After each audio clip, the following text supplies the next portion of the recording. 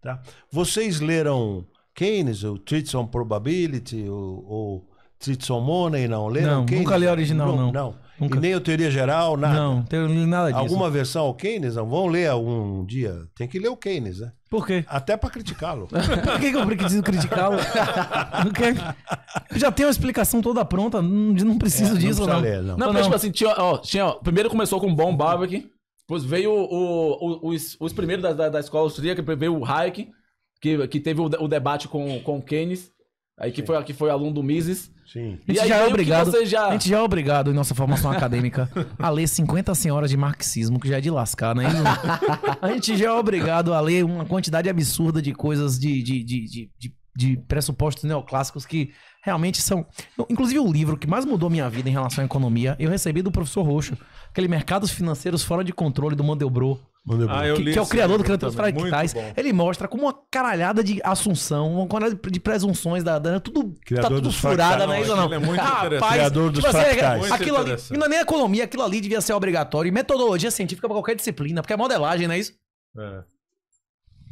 É O moderado. professor Aprendi- eu li aquilo por causa de o- roxo. Entre os keynesianos, eles não gostam do Bitcoin, né? É, não são todos, para ser sincero, são poucos que conhecem Ah, tá. a fundo. Tem um professor aqui que vem estudando e é um bastante estudioso. Aliás, ele tem ele tem canal também. No, é o professor Paulo Gala da Fundação Getúlio Vargas. Ele tem até um canal no YouTube. Ele, ele virou meme também na, na bolha Bitcoin, que aí a galera falou assim, não, ele tentou explicar de forma, Você uma crítica. ele, né, sim, Paulo sim. Galo? Não, isso foi em 2017 que ele fez um can- no, no canal do YouTube dele, não sei se foi 17 ou ou 18. Foi meu aluno no, na Isso. TV. É, E nós- aí ele nós pegou não a- somos economistas, professor. Eu sou engenheiro. O Bitcoin é uma solução de engenharia, não é isso? A economia que eu estudei, análise econômica, é micro, isso nem é macro, né? É porque todos eles, toda a parte desse- desses economias, economistas é, de keynesiano, como Paulo Gala e tantos outros, que eles trouxeram trazer o Bitcoin pro lado econômico keynesiano e financeiro da parte dele, que ele também trabalha em fundo É de verdade, investimento, é. toda a parte de... É, do, é o economista-chefe do Banco Básico. Isso. E aí ele vai lá e, e se, e se enrola. Porque, tipo assim, aí a galera começou a dar, a, dar o, a, a refutação do ponto de vista tecnológico de engenharia. E aí, e aí ele acabou virando meme no meio da comunidade porque não soube refutar isso aí. E a galera que é Bitcoin e que é da escola austríaca, que é libertário ou anarcocapitalista, acabou refutando ele do ponto de vista e, e só em, em Ideológico, inclusive. ideológico lá, lá com Então Os ele, ele, assuntos da apanha dos economia austríaca. ele apanha dos dois lados, é isso. isso é. Mas ele mesmo defende o Bitcoin? Não, não, não. como- Ele fez uma crítica, ele uso? não- não acredita no Se, Bitcoin, se não. ele vende que serviço bancário, cada cliente dele Não, quer mas acertar o Bitcoin, ele bancos- perdeu o cliente. Não, cada mas hoje cliente. os bancos já têm as suas ETFs, ah, o Banco Sim. Também Não, Eu não sei se hoje Não. ainda. É, os ele bancos não vendem Bitcoin. Os Ele- ele bancos trabalha vendem com- produtos que lhe dão alguma exposição a Bitcoin. Isso, o exatamente. banco que vender Bitcoin que o cara puder sacar vai perder o cliente, Ah, não é não, isso? aí sim. o banco vai dar, dar liberdade. Não, Uma não empresa vai. privada vai sair vendendo arma. Ele Não, tem não armas que ele vai dizer que é dele, não é isso? Empresa de segurança vende arma. Não, acho que Ele vai não. ser desarmamentista, inclusive, não é isso ou não? Ah, não. Igual Porque- político. Político é desarmamentista e contrato de segurança armada. Rapaz, você viu que o Ele- ele tá Lewandowski, com trabalhando quase com- 80 anos, o bicho Ele passou na prova com- do Sinarme e pegou porte pessoal. É? Ainda. Rapaz, eu queria ver, eu queria ter visto o cara tum-tum numa vermelha, amarela, não é isso? Agora, deixa eu dar uma sugestão para vocês é, que tão, são inteligentíssimos e, e- e trabalham direto. Caberia um novo livro, viu? Caberia um novo livro. Talvez um pouco até mais didático. Caberia vocês dois fazerem um. Alan tem uma coleção, tem Bitcoin em 50 minutos, não tem uma. É, tudo o, que você precisa o- saber. o mínimo sobre Tem, Bitcoin. tem um mínimo sobre Bitcoin que o cara lê, uma- é um que o cara lê em livretozinho. 40 É um minutos. livreto, tem um um livretozinho de livreto. 40 É, minutos. eu Esse não- aí é mais eu não conheço, aprofundado. eu não conheço. É porque, tipo, esse livro que o senhor tá vendo, o senhor tá vendo grosso aí, mas um quinto, um sexto dele Eu é até propaganda. imprimi, eu quê? imprimi todo ele aqui, ó. Fiquei na madrugada tentando é, Entender esse é, negócio. é. Não, mas eu vou entender. Eu É prometo. É, prometo tem umas entender. 30, 40 páginas de propaganda de empresas que nós respaldamos e tal, que nós já utilizamos, não sei o quê. No final tem glossário, tipo 50, 60 páginas de glossário. Tem muita coisa aí que não é texto propriamente dito. E metade do livro nem fala de Bitcoin. Fala da decadência moral que a gente está vivendo e dos, dos proxies, de como existem demonstrações de que a destruição da moeda leva à destruição da moral. Isso está acontecendo na sociedade. Todos os sinais de colapso societal, dominância de valores femininos, destruição de fecundidade, diluição de moeda, explosão do welfare, tudo isso aí já aconteceu várias vezes. A gente tá vendo. mas A história não se repete, mas rima, não é isso? A gente faz uma análise mostrando o fourth turning, os ciclos, não é isso? Pra- aí no final chega e diz: olha, o problema é esse, isso tá acontecendo. A consequência é essa, existe rede social, eles querem te castrar, eles querem castrar seu filho, eles querem que sua filha seja uma, uma promíscua, não é isso? E a solução é essa aqui. Isso aqui vai fazer se sua mulher te respeitar, senão ela não leva um centavo seu. Seu filho te respeitar, se não toca um centavo seu. E seu governo te respeitar, se não toca um centavo seu, não é isso? É, apresentou o contexto do problema e aí você apresentou uma solução. Que é isso que eu, é, quando eu conversei lá com o Gabriel, falei com ele.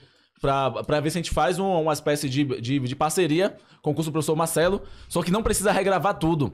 Pro Marcelo, o professor Marcelo já explicou do ponto de vista o que é, o que é, o que é, é, guerra cultural, o que é o, o que é o que Gramsci fala, o engenheiro, o engenheiro social Gramsci fala, o que é socialismo.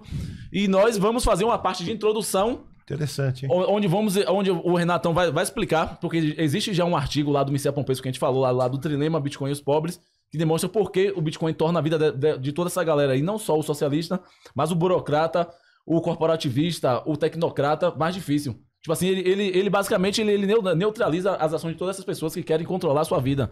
E como é que eles controlam a sua vida? Através do, do, da, da, da- da- do dinheiro, né? E aí você, a gente, aí a solução que a gente apresenta é o próprio Bitcoin. Quanto a isso aí. Tipo, eu concordo com o professor, com o professor Marcelo Andrade que o Bitcoin não é a única coisa. Que isso aí a gente vai explicar no próximo livro, que é o chamado Bitcoin Black Pill. Tipo, a gente apresenta o Bitcoin como arma, e no próximo livro a gente vai apresentar o Bitcoin como um escudo, ou os outros assuntos como escudo. Que, é a teoria das bandeiras, como você fazer diversificação de patrimônio, Ah, isso diversificação é de residência. A teoria das bandeiras Isso. é mas fundamental. mas para as pessoas ir- passarem para que a gente meio que adota a curva de aprendizado, né? Você primeiro tem que apresentar o contexto um problema, aí é, apresentou a solução e agora vamos para as questões mais práticas. Porque tipo, se a gente unisse tudo aqui e o livro vai ficar tão complexo, tipo, vamos falar de teoria das bandeiras. Como você diversificar patrimônio? Como você diversificar patrimônio em termos de legislações e e jurisdições? Como você diversificar sua residência? Se você tem cidadania e se ou, ou se você não tem cidadania, faça uma residência, porque residência você pode ter em vários países. E como você fazer montar um offshore? Aí tem no outro, vai ter no outro livro. Esse é bom, gostei. E como você melhorar o seu OPSEC, que é a segurança operacional, que é como você saber se portar na internet. Tipo, se você mexe com Bitcoin e você não sabe as questões básicas de segurança digital, você vai perder os seus Bitcoins. Não sabe fazer autocustódia, são questões mais práticas. Então, primeiro aqui, uma, uma análise contextual do problema e apresentar qual é a solução, o Bitcoin com arma, e agora você vai vir com as suas defesas. Tipo, não adianta só você ter Bitcoin. Você vai. Ah, quando você tem Bitcoin, você pode tacar o foda-se, ou continuar vivendo na, na, na- na ditadura. Quem, quem, tem, quem mora em ditadura e tem Bitcoin, vive bem. Ou você, como a- o, o Renato sempre fala, é mais fácil o macaco de, mudar de árvore ou árvore de lugar. Tipo, você com seus Bitcoins fazendo sua poupança, que a gente fala, defende o Bitcoin do ponto de vista não de investimentos, e sim como hedge, uma proteção. Você não vai ter ele pra Você ficar não rico um revólver pra, querendo ganhar dinheiro, né? Não, não Você compra um revólver querendo não morrer, não é isso? Pra não morrer. É isso. é. Esse outro livro chama Bitcoin Black Pill. Uma das coisas, inclusive, que não tem nesse livro, que tem no outro, é o nosso TR. O senhor acha que a Big Tech vai permitir essa conversa existir daqui a 5, 10 anos Esse aqui no Black Brasil? Pill sai Hein? quando? O nosso TR é uma rede centralizada. Rapaz, tá do iminente. sai. Tá no final do mês, tá iminente. Pô, Mas é mais é avançado. rolê O senhor achou esse complicado, É, outra 10 vezes mais é, complicado não é que eu achei. Deixa eu explicar. Sim. Não é que eu achei esse complicado. Eu imprimi ontem. Então é que, é que eu não leio. É complicado, não? É, É, inviável, é impossível, é né? impossível né, ler na Nossa, madrugada. eu acho que não é esse não, viu? É esse É, mesmo livro? É, Esse tal, acho que é a segunda. Acho que sim, edição. é. é. Eu É, a imprimi. segunda edição, né? Então, É. próxima semana na massa, professor. Comecei a ler. já vai ganhar a terceira, cara. Já vai ganhar a terceira dar uma alisada. Você vai saber o que é que estão são todos esses assuntos Você aí. entendeu? Não é que eu achei complicado, eu achei grande. bandeiras vai ser ótimo. Esse, esse nosso TR vale a pena pesquisar. É uma rede centralizada incensurável. Incensurável. Em menos de um mês a gente perdeu no Brasil Twitter e Telegram. O Telegram foi, o cara foi preso arbitrariamente, mudou as regras todas, apiou, não é isso? Quem anda qu- testa Quantos, quantos usuários tem nessa? NR chama? é N-O-S-T-R. Depois eu não sei. Os usuários ativos têm estimativas entre 50 e 100 mil. Mas é um negócio embrionário que não existe há quatro anos. Vamos ver aí se, se chegar a um milhão, já é uma quantidade absurda de gente, não é isso? N-O-S-T, nossa. Nunca Tem, tinha ouvido falar. É porque não. isso, ele não é um aplicativo. Ele não é um aplicativo. Ele não é uma plataforma. É um protocolo.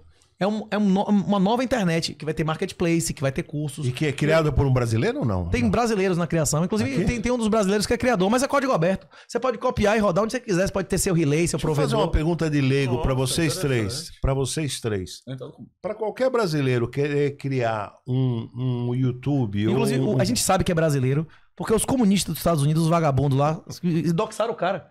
Quando essas Sério? revistas militantes esquerdistas descobriu o cara, disse o nome e sobrenome do cara e o endereço. Pô, Vamos desculpa interromper o senhor, malvadeza. professor. O quê? Não, eu ia fazer uma, Ok. per- eu ia fazer uma pergunta de leigo. é, algum brasileiro querer criar um canal novo desse tipo, não, é possível ou não? Vocês que são da área Canal como? Um protocolo? É, um protocolo. Geralmente o que acontece é o seguinte, quando su, é, su- é, Eu vou criar, vou criar um novo Instagram.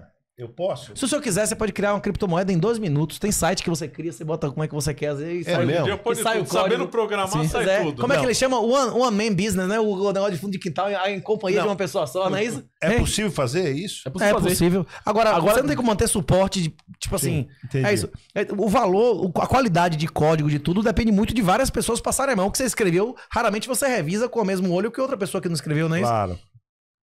Entendi. Interessante Ô, Alan, gosto. esse teu sobrenome, como é que se pronuncia? Em português fala o Shiran, em alemão é Schramm. Schramm. Você é de origem alemã também? Sim. É? Do meu, do... Teve uma, uma é, Você migração... fala alemão? Hã? Não, Você fala- falo italiano. Ah, tá. E o que Teve, que teve é? uma migração do, é, é, alemã lá no Nordeste. Só que depois a, a maior parte se concentrou tudo no Sul. É, é por parte Inclusive tem pai? até o- a, a história que, que teve, teve, já passou já no canal do, da Record. Que, o- que o pessoal ficou aventando a história de que o Hitler teria se escondido no Nordeste. não, não sei se você já viu, passou na Record que tinha aquela escola de. de- Pô, se o do Benguele morreu em Bertioga, porra, o cara não podia ter morrido no Porto da Barra, por de galinhas, não é isso, não? É, É, teve um que morreu na. na... Em 38. Pessoal Será que ele não é o, o- o irmão alemão do Chico Buarque, do livro? Eu tô achando Não que ele conheço, é, não. Tem um É. livro do Chico Buarque, ele tem é um meu irmão. irmão alemão. É. Até o, no canal E, do... e é de verdade, né? Ele tem É um irmão tem, alemão. tem um irmão alemão. Porque o pai, pai dele, dele- o Sérgio Buarque, era correspondente do Assis Chateaubriand. É, É, lá o Fernando na Henrique também tinha um filho na Espanha, não tinha? Não, Não, jornalista. mas, mas aí se provou que não era. Ah, não Não- era? ah, o DNA do Ah, não negativo? É, Nos dois exames deu Pô, o cara foi reconheceu publicamente e tudo, depois deu. Reconheceu Mas rapaz e pagou, ele deu. Rapaz, até os caras mais ricos de todos, os caras são enganados. Rapaz, imagine, bicho. É. Até o Sly, o Stallone botou a mulher grávida de outro macho dentro de casa. Rapaz, aí o jogo é muito Não, desigual. mas- não, né, mas- não, o quê? mas- é. De lascar, né? De lascar. O cara com todos os advogados do mundo. O quê? Nossa. É, mas o filho do Sérgio Buarque, ele- o Sérgio Buarque teve mesmo. O problema é que o Chico não conseguiu localizar. Mas agora eu tô vendo que. o- Talvez o seja Alan- esse. Não, o Alan é filho. É filho do filho. Da, da, da, da- da- as idade, datas. né? E é. aí veio pra cá o filho aí. Veio pra cá, ó. É. Tá Quem que era saber- alemão? Teu avô? Ou seu bisavô? Acho que o bisavô, bisavô. Bisavô? Inclusive, tem até uma família muito grande lá na região de Alagoinhas, onde tem a, a fábrica da Heineken, Araçais, onde tem a família Chiran. Só que por ter a família, o- eles terem se envol- envolvido com os locais, aí acabou é, alguns mudando de sobrenome e tudo mais, devido à questão da, da, da, da miscigenação. Aí depois, uma maior parte, depois foi tudo pro sul. Se não me engano, acho que foi é, 1933, se eu não me engano, teve uma migração alemã por lá pro Nordeste, as primeiras. Mas sou fã de, de vocês, do professor Marcelo.